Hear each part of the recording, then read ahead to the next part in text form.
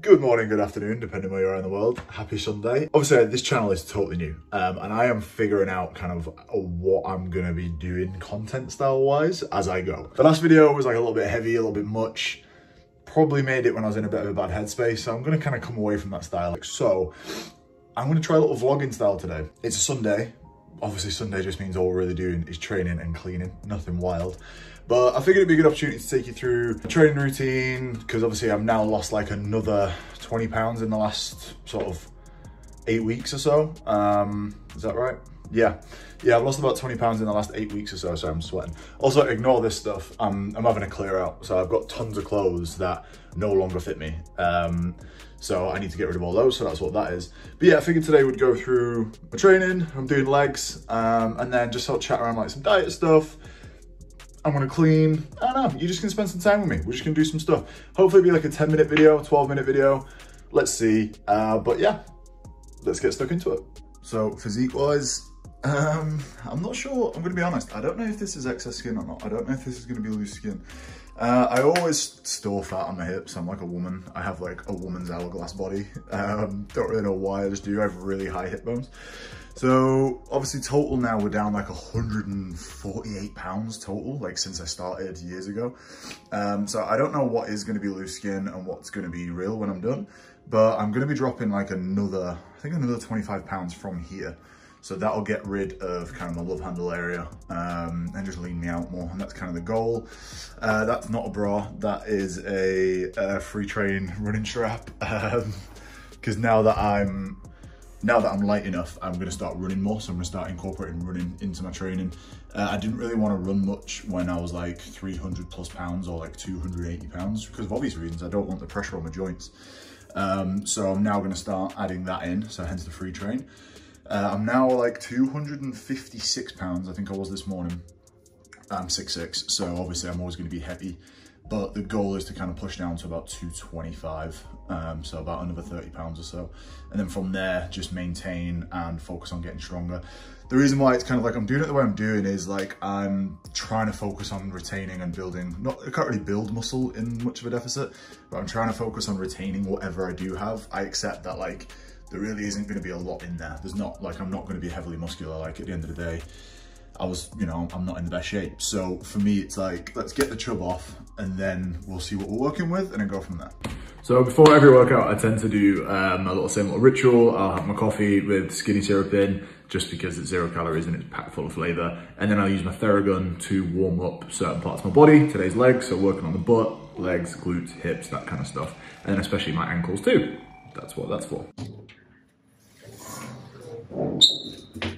You imagine if someone was in the elevator then how awkward that would have been. If I just walked in and was like, hi, hello, hi. All right, so instead of doing a voiceover, I'm just gonna speak straight to camera. Um, so before every single workout, I pretty much use the same warm up. Um, obviously this is a leg workout, so we are warming up the hips, ankles, actually the knees, everything, everything as best we can. Um, these are kind of my fundamentals. Um, they generally just hit everything in the best way possible. This is what's called a Hindu press up. I absolutely love it. It is something I couldn't probably do before at my heaviest. I admit I probably didn't have the strength in order to do it, but now I do.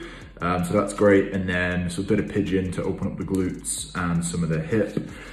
And then from there, um, we just sort of start playing around with a bit more hip flexor stuff and also um, just some basic air squats and some reverse lunges. Again, all part of the warm-up process.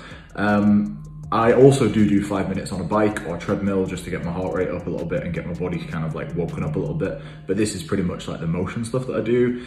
Believe me, there are much more intricate things out there, but this is just what works for me. It's what I like to do. And then for squats, we start by doing some good mornings. I did actually once have a guy come over to me and tell me I'm squatting wrong. Um, this is not a squat, it's a good morning. It's just to open up the glutes and uh, get the hamstring stretched. And then we start with some basic squats. Super light, 70 kg. So as you're looking at my squat technique, everybody's always super critical of squat techniques online now because everybody's a PT apparently. Um, I squat low bar largely because I'm six foot six and I have a really long spine. So typically athletes over like six foot two, six foot four don't actually squat generally. Six two is usually about the cut off because there's just more opportunity for things to go wrong. So for me to protect myself, I squat low bar and I pretty much only squat to parallel. Um, it's rare I'll go deeper than parallel again just to avoid chance of injury. I could obviously work on my mobility and improve that, but honestly, I'm happy with where I'm at. I hit depth, it's all good. So that's what we do. Working up to this is a five by five um, for back squat. This is the second leg day of the week. So it's a little bit lighter and it's more just about getting through the motion and keeping my central nervous system firing enough. If you use leg press, please God, put your weight to it. Drives me nuts. Anyway, so then from there we go through, uh, I think this has actually been five sets of, of, of 12 to 15. As you can see, I can't go super deep on this leg press. My long ass legs just don't really sense to serve me too well, but it is what it is. It is what it is. And then we go into some kettlebell front squats. Uh, I think again, I did five by 10 on this. Um, the reason why I'm using fives at the moment is just to burn more calories, to be honest. It's just because I'm just focused on output and not necessarily on strength. Because I'm in a bit of a deficit um, and I'm sort of getting towards the latter end of my weight loss period, I'm pretty tired and I don't want to risk injury and try and force my body to do something that it can't do anyway. Then from there into walking lunges using the same weight. This was not superset, I just kept with the same weight, so it's 48 kilos. This was the last set of my, I think I did four sets of 12 on this. As you can see here, my uh, my grip my forearms just are exhausted. I had back yesterday and my, my arms were just drained.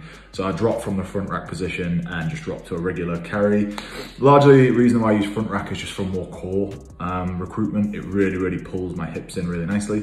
Here's my little water buffalo moment. Your boy sweats, I ain't gonna lie. I, I, I sweat hard when I train, it's kind of gross. Um, and at that point, I think I was an hour in and I'd just done a thousand calories within the hour which is always tiring. And this is probably one of the most underutilized exercises to see. I don't ever see anybody really using this ever. Um, I generally tend to do this at the end of my leg workout because my legs are already fatigued. The simple reason being is it's because recruiting the, the balance element out of my legs. So it's obviously meant to be a glute focused exercise, which is absolutely what it is. It's a typical hip hinge. It's really, it's a great movement. But as you can see, it's a bitch to balance. Um, and I just find it most enjoyable when I'm already fatigued because I'm, I'm asking my body to work even harder with more fatigued muscle. I have found it radically translates really well with balance in the real world. When I'm just playing around running or skipping or playing basketball or whatever, it just it just is much better. So I highly recommend giving this one a go. Um, I found it to just be super useful. And then to finish up, I do a typical core movement called a dead bug. Um, I don't train abs as such, and I don't encourage anybody to do so either. I actually encourage people to just train their core. Um, yes, they are two different things, in my opinion anyway. Um, as you can see here, this is called the dead bug. This is about overhead load with the pull, so that's essentially encouraging my core to stretch, open and pull in. And then the downward part with the legs is under tension while keeping that midline sort of tensed and focused. I'm recruiting the push-pull element again with the hip flexors. And after that, I kind of do like a mini superset where I just lay on my back, tuck my wang away, I guess, um, and suck my gut as hard as I can and just lift up and hold it for a brace. It's a little bit like a hollow hold, just without that. And this is how we ended up on the calorie session. So Apple Watch, the bane of my life, but what did we hit up with? 1279 calorie active workout. Great. Anyway, that's me. Peace. Yeah, that was pretty tough, not gonna lie. That was, uh, I'm tired. Um, good session. So that's the second session per week out of my two legs. So the first one's like super heavy focus, so I do, I'll talk about it in a minute, but that one's lighter and more endurance based. So I just got back to the flat and this is where like real life kicks in. Uh, I don't have any toilet roll, I don't have any kitchen roll, and I don't have any washing up detergent. I've run out of all three. So I'm gonna go back, get that, come back, shower, and then um, then we'll chat about diet, training, and stuff. So weird little fact on Calvin Klein on these big and tall hoodies was I was the fit model for the hoodies or for the tops. So if you buy a 2XL, it's actually made of my body. Super weird. Oh, hello. Um, yeah, that was creepy. So as mentioned in that video there, my training, I train six days a week. I do push-pull legs, push-pull legs. It's pretty standard. Um, I take one rest day, sometimes I'll take two if I absolutely have to, but generally I won't. And the reason being is because I'll just vary up the intensity. So the first half of the week, the first push-pull legs is very like central nervous system heavy. So it's like seven sets of three reps for a major compound, whether it be squat, bench or dead is the typical way that I do it. And then I'll always add on like two sets of 10 or eight or whatever afterwards. And then from there, it's like a more hypertrophy driven session where it's very much like 15, 12, 10, 8, 8, or it'll be like 12, 10, 8, 8 drop set, 12, 10, 8, 8 drop set. That's how I typically do it on the accessory uh, exercises of the initial compound.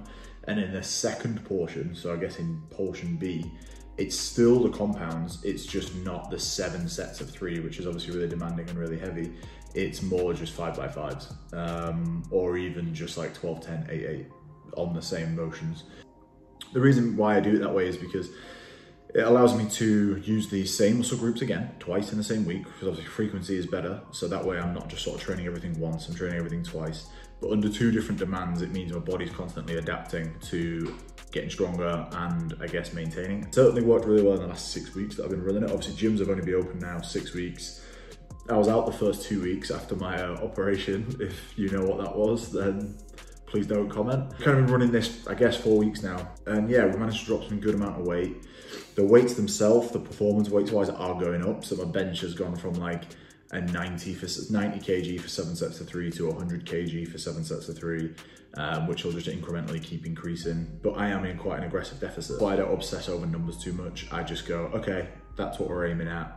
I'm just gonna do my thing and that's it really. So then for me, goals wise, um, where's all this leading to? So obviously before I was, I was 400 pounds somewhere about four years ago.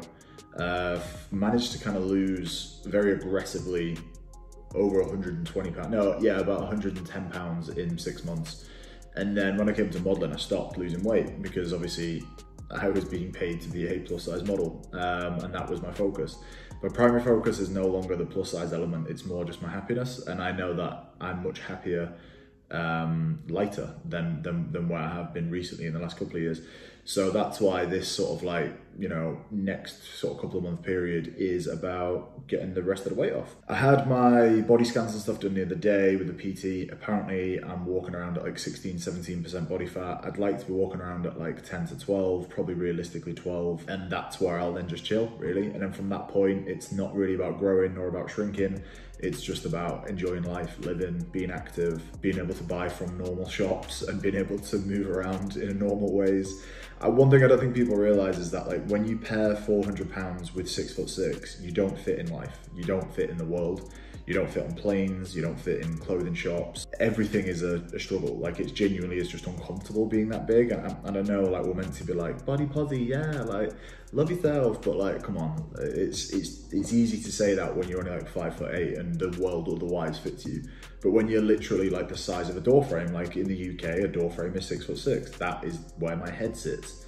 So if you pack that is already one challenge, which can never change, and then you fill out the door as well, it's like, it's just difficult. It just makes life very challenging. But the goal right now, now that like, yeah, I can, you know, life's much easier now and I'm much more confident, much happier and much, much sort of like at peace with things. Just want to punch that next level. I think I owe it to myself to just punch that next level. I think having trained incredibly hard. Even even at my biggest, even at 400 pounds, I was still running 10 kilometers a day. I was still I was still a beast. I was still really fit. And I think I just owe it to myself to finally see in the mirror what I've actually been putting in. And people can say that's toxic. They can say that's like what body dysmorphia or whatever, but it's not. I've been working my arse off and didn't get any results due to my celiac celiac disease due to the condition that I was battling. And now that I've really got that well managed, it's like, come on, let the guy live. I just want to look good naked. That's it. I just want to be a bit shredded. I want to see abs. Why the fuck not? Why not? So that's where we're at. And then diet wise, um, I just use a typical sort of diet calculator. So to work out my BMR and my deficit, that's what kind of got me off the ground. I'm not cutting anything out that I don't have to. So obviously with me being celiac and dairy intolerant, I already have to cut a ton of stuff out anyway. It just is what it is. But I aren't cutting out anything intentionally. I'm not drinking just because it wrecks my mental health. Uh, I don't smoke and I don't do drugs anyway, so that's that's not really a problem. I generally don't eat much junk food because I physically can't, because I can't eat dairy or gluten, wheat, malt, barley, so I can't have pizza, I can't have ice cream anyway. So I already live like a pretty restricted life just my health because I'm prioritizing my health. So for me, diet-wise, there's no diet food, there's no, none of that. It's just give my body the best I can do in health and I'm training hard every day and just being mindful of how much I'm consuming and that's it and that's what's working. Anyway, so I'm gonna wrap it up. Um, I hope there's some useful stuff in there. I hope like this there's been something of worth. Um, again, totally new sort of style for me, this this style. Like I've not really done the vlog vibe. I kind of like it though. It's kind of fun. I think next time I'll plan a proper day more though, where it's not just like gym and then buying toilet roll. It's like, oh, we're actually gonna go do something fun together. So that's what I think I'll do next time. But obviously, let me know in the comments what you, if you prefer the style, what you don't like, that kind of stuff. I'm just trying, people. It's all new. We're figuring it out. Um, but I say I'll link the bits that I've that I use in the in the video. So the Theragun, I'll link that. Uh, I get loads of requests about my Pokemon socks as well, so I'll link those. Um, I'm currently rocking Charmander and Blastoise, Mew. I've got Eevee, Charmeleon, and uh, Charizard. But I'm gonna like save Charizard for this. I'm not even joking either. I'm saving Charizard for when I've hit my goal. So when I've like shredded down, that's where I'm gonna wear Charizard. But I'm not allowed to wear Charizard or Blastoise until I'm there. That's my that's my competition with myself. That's my reward. Sad, I know. But yeah, I'll link all those bits um, just in case you're interested. And obviously, drop a like. Um, if, if, if, if, if you enjoyed this, drop a sub if you're new. And yeah, thanks so much for watching. I'll drop another video later in the week. I think I'm gonna do a fashion haul this week. So I ordered some bits recently, Zara, H&M, and ASOS. And the ASOS one did quite well on TikTok and Instagram. And I've still got the H&M one to arrive tomorrow and the Zara ones arrived. So I'm gonna do a couple of hauls this week. The next, I might make that the next piece of content is a men's fashion haul. Um, but let me know what you think and I'll catch you next episode. Peace.